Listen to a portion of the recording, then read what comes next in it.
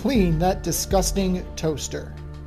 First, unplug your toaster, then mix equal parts water and vinegar and spray the exterior of your toaster. Wipe down with a soft cloth.